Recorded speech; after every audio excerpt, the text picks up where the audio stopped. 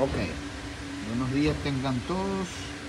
Fíjense, tengo un caso aquí de un Volvo 2017, un XC90. El problema que presenta, fíjate, este motor, este lleva, lleva supercargador. Eh, viene con un belt, un- una correa y eh, el problema que está presentando es el siguiente.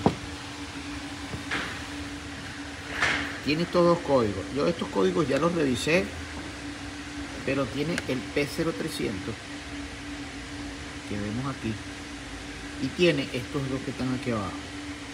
P0033 y P0048. Eh, Sabe que siempre recomiendo inspecciones visuales. En este caso, cuando yo hice la inspección visual, vi que la válvula de descarga, que es esta que está aquí, selenol de refuerzo del turbocompresor, está muy alto. Es porque la válvula estaba desconectada. La razón lo desconozco. Me imagino que en otro taller lo estaban revisando y lo dejaron desconectada. Yo la conecté y el código se borró. Esto es un informe de cuando el vehículo llegó. ¿Verdad? Un, diagnóstico de inicio. ¿Verdad? Que siempre es importante realizarlo para saber con qué código llegó el vehículo. Ok, este código ya se borró. Este código ya desapareció. Estaba desconectado.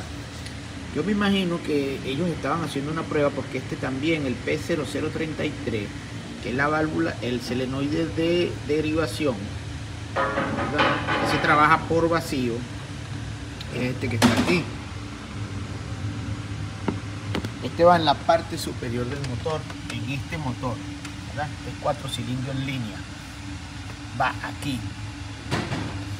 Yo no sé si pueden percatarse o pueden ver que miren cómo se derritió eso es porque hay un sobrecalentamiento en el motorcito del selenoide.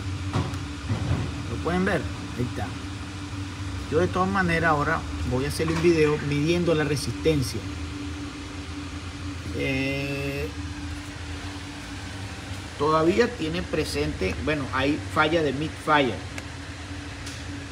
Yo no sé, voy a hacer las pruebas ahorita porque si él está abierto, el motor está absorbiendo aire por ahí y puede producir misfire. Yo le voy a mostrar el misfire ahorita, pero eh, antes quiero hacer una prueba. Fíjense, Tie- tiene un cortocircuito porque eh, déjenme ver cómo coloco aquí.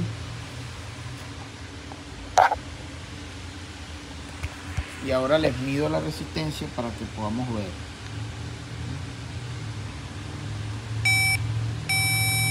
Vean cómo tiene un corto, está en corto el motor. Hay un corto el motor, ni siquiera suena, ni cliquea, ni nada. Hay un problema. Ya este solenoide no sirve. Y calentó. Aquí, aquí se ve donde el motor, así que no hay suficiente luz. A podemos ver. Esta parte aquí fue donde calentó. Inclusive ensució la, eh, puso, derritió la parte donde ella calza, que es donde ella calza así. Ella va aquí en la, así. Ella va así. Y ella calza aquí. Aquí tiene sus dos mangueras. Y este es su conector. Está, ¿Dónde está? Aquí está. El conector yo lo revisé y se ve en buenas condiciones. Ok, voy a empezar con ese diagnóstico. Ya mandamos a pedir repuesto en la, en la, en la Volvo, ya el cliente aprobó. Otra cosa que quiero cambiar es la PCB, válvula PCB, que es esta, aquí está el número de parte, ya la pedí por mantenimiento porque la veo que está muy, tiene liqueo. Eh, haberle desconectado la válvula de descarga puede ser que esto se dañe porque la presión que tiene el motor es fuerte y eso me puede estar produciendo también un misfire. Entonces, todavía no he hecho el diagnóstico del misfire porque es muy peculiar. Fíjense aquí como este es el cilindro 1, 2, 3, y cilindro 4. Entonces, vean la falla del cilindro 1 y 3. Es la misma en el mismo momento. Demasiada casualidad que sea el cilindro o que sea eh, o que sea una bobina o que sea una bujía, un spark, muy difícil, la verdad. Entonces es en el mismo momento y a la misma revolución. Entonces, y esto no, aquí no hay. Entonces eso me produce un código P0300 que es múltiple misfire o múltiple fallas de cilindro. Entonces, primero decidí arreglarlo en el selenoide y después ya me enfocaría si se arregla, ok. Si no, entonces ya me enfocaría en lo que es los cilindros, medir compresiones, todo. Entonces seguiré, eh, vamos a continuar con otro videito. Cuando me llegue el repuesto, montarlo, hacer las pruebas. Ah, y quería medirle la resistencia. Vamos a medirle la resistencia a este selenoide. A ver cuánto tiene, ¿ok? Para darnos una guía y revisamos el selenoide que me van a traer. También le revisamos la resistencia. Eso es buena información para tener para el descarte. Para que los ayude cuando porque a veces puede ser que no esté, este, este, este como en corto, pero es posible que a veces dispare, pero ya se queda pegado. Entonces eso es bueno tener la resistencia para saber si está en buenas condiciones o mala condición. Ok, aquí ya tengo el selenoide en sus dos polos. Lo tengo aquí ya y fíjense la resistencia que tiene. 1.1 de resistencia de ohms 1.1 1.1 sí. Esa es la resistencia. Entonces ya tenemos un parámetro eh, aquí anotado y esperemos que me llegue el repuesto de la Volvo y le medimos la resistencia para saber más o menos el rango de que cuánto debería de tener motor, esa es información importante. Yo siempre anoto todo eso, vehículo que me llega. Si no lo, si no, si no tengo el, por lo menos en este caso ya yo sé que está dañado, pero si estuviera funcionando, es bueno ver los parámetros. Yo utilizo Identifix, ahí busco cuánto debería de tener motor de resistencia el selenoide y ya de ahí saco conclusión. Y medimos el que va a venir. Y ahí ya nos damos cuenta que hay un problema. Entonces vamos a reparar esto, vamos a esperar que lleguen los repuestos y le grabo otro video. Ok, les cuento que todavía estoy con el Volvo. Bueno, ya le retiré los inyectores. Ya, después le explico cómo, cuando lo vaya a poner, le explico cómo sacarlo. Son GDI, correcto. Aquí ya lo tengo en la máquina. Solo la máquina GDI eh, es una máquina especial. Yo tengo para limpiar inyectores. La otra, la de GDI, la tengo en otro sitio.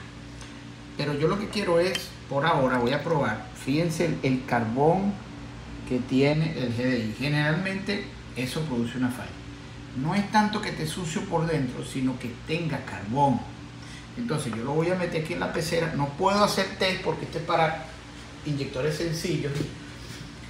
Entonces voy a hacerle eh, la limpieza de carbón al inyector. No los voy a limpiar por dentro que generalmente, bueno, en este país no, eso no sucede. O se daña o el carbón GDI lo tapa. Entonces, porque si continúa con el P0300, ya resolvimos dos problemas. Ahora vamos con el tercero. Ok, fíjense, aquí ya los tenemos. Miren cómo quedaron limpiecitos. Ya no tiene carbón. Están limpios ya.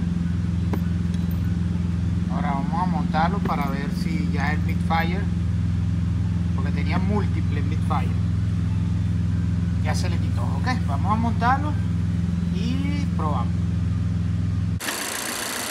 Ok, fíjense cómo voy a medirle la, resistencia a esto. Mira cuánto estaba. 0.5, 0.6. Esto no sirve. Ya medimos esta, tiene 4. Esta tiene 4 esta tiene 4 y esta que tenía aquí tenía 0.5. Esta es la nueva. Que decir, si yo hice esta prueba.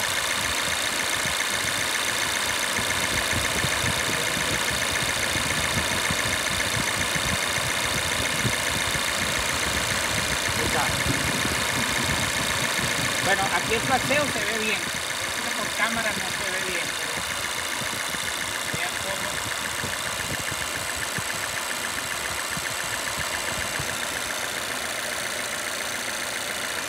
Esta bobina yo le ponía el test de prueba aquí y me prendía, o sea, estaba funcionando, pero la chispa no era la adecuada. Ok, fíjense. Aquí vamos con los midfire. Le metí la máquina de humo y me doy cuenta de que tenía un liqueo por aquí. Continuamos con los midfire. Vean. Parte inferior por aquí. No se siente nada del gasket. Absolutamente nada. Por ahí estaba liqueando.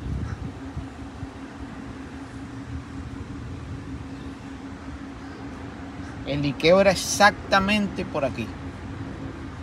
Y de verdad que no se siente, no hay nada. Ya el gas que se venció. Yo lo compré nuevo. Lo pedimos con el número de parte 31411250. Ahí está. Listo. Aquí, aquí lo tengo. Listo para armar. Ya vamos a armar. Ya saqué este lado. Fíjense. El liqueo lo tenía por aquí. El liqueo de humo era exactamente en esta esquina. Claro, eso me estaba produciendo los midfire. Entonces, bueno, vamos a, armar y, y, probamos a ver si ya con esa falla, con ese liqueo que tenía ahí, porque ahí donde está el cargador. Ahí está el cargador. Ese es el cargador. Vean su polea por la parte de adelante. Viene su poleita. La idea es sacarlo todo. Yo no lo quise sacar todo. Saqué fue la parte de atrás. Bueno, listo, vamos a armar. Ok. Fíjense, ya, ya aquí con el Volvo, la Volvo, ya solucionamos ya los tres problemas que tenía, los tres códigos. Ya se solucionaron. Eh, ya le acabo de dar una prueba. Se va a entregar hoy en la tarde, pero le voy a hacer tres pruebas de manejo. Una en la mañana, ya la hice. Una al mediodía y una al final de la tarde. Ya listo para entregar. Eh, el único mensaje que tiene ahí, bueno, es el cinturón. Y el otro mensaje es que, bueno, el nivel de combustible está bajo. Pero ya todo el sistema este, está activo. Eh, recuerden siempre, este tiene la batería, este modelo tiene la batería auxiliar adelante. Yo la tuve que sacar. Inmediatamente al ponerla le va a mandar el mensaje que está dañada. Eh, que hay que cambiarla, reemplazarla y hacerle el, el adaptativo, pero te dice que la única manera de hacer el adaptativo es cambiando la batería. No, ustedes le miden el voltaje, si no tenía problema, en este caso tenía 14, 12.7, estaba encima del rango, eh, se le hace el adaptativo o un reset, un reset de la batería auxiliar y él vuelve a agarrar todo su sistema otra vez. Eh, importante, el problema que teníamos, ya el último problema era el P0303 eh, o P0300, no recuerdo, que era mm, mm, eh, Misfire. Eh, estaba, eran varios Misfire. ya lo resolvimos. Hubo muchas cosas que hacer en este vehículo. Los inyectores GDI había que hacerle mantenimiento. Por mantenimiento hubieron muchas cosas que hacer. se cambiaron los se le cambió un coil, recuerden en el video, por, por la resistencia que tenía, que era muy baja. ese, o se iba a dañar o ya estaba echando broma. Eh, yo quería comprar la original, el cliente no quiso. Eh, lo otro era, eh, se le cambiaron las bujías por mantenimiento. y al último video, bueno, fue el gasket que tenía un vacuum leak. Yo le puse la máquina de humo. no me dio tiempo colocarla bien el video porque después, si quieren saber más de la máquina de humo, bueno, me mandan un mensaje y yo les mando un video sobre la máquina de humo. Eh, o les mando el video que tengo sobre las máquinas de humo. Em, em, ¿Qué más? Listo. dato muy importante. Ok, eso. Eh, también, este, si si este vehículo tiene problemas con, con midfire eh, y reparan el midfire, él queda con una leve, leve fallos de cilindro porque este vehículo hay que hacerle el adaptativo de, o, el, o el reset de la mezcla aire-combustible. Si no, queda con un leve, porque él hace, él se adapta a la falla en la mezcla. Entonces ya, eh, ya le cambiamos, le hicimos todo su mantenimiento. Importante con el escáner, cuando vayan a hacer reset, este vehículo es de este tipo de perilla, ¿verdad? Aquí apaga. Entonces, importante, cuando vayan a hacer un reset, si ustedes hacen esto para encenderlo, la primera vez, la segunda vez, la tercera vez, ve que no, hay ningún tipo de movimiento en el, en el. Entonces, la manera como escanear el vehículo y hacerle reset, porque prendido no se puede, hay unos reset que no se pueden hacer prendido, otros hay que hacerlo apagado. Pero vean, para poder entrar en modo eh, de encendido en este vehículo, dándole así, él no, él no entra en modo encendido. Para poder tener acceso con el escáner, hay que dejarlo pegado 3 segundos. Vean, 1, 2, 3 y él activa el vehículo sin encender. Ya de ahí el escáner entra, hace los resets, hace todo lo que tengas que hacerle. Ya él lo permite. Pero mientras que esté apagado así, no hay manera. Pero la manera de ponerlo activo es como les estoy explicando. Tres segundos, la perilla pegada. Uno, dos, tres. Y hay activación inmediata. Entonces ya ahí pueden trabajar con el escáner. Bueno, esto ha sido todo por hoy. Ya terminamos con este vehículo. Hoy ya lo vamos a entregar. Ya gracias a Dios está prendiendo bien. Vean, todo no tiene luces en el tablero. Todo está perfecto. Em, ya espero que le haya servido de ayuda. Este es un carro muy complicado. había que tener paciencia, buscar. Es muy nuevo y no hay, muy poca información en, los programas de apoyo. Tuve que inclusive escribirle para que me mandaran información adicional. Em, bueno, si te gustó el video, si te ayudó, suscríbete, dale a la campanita de notificaciones y que pasen un excelente día.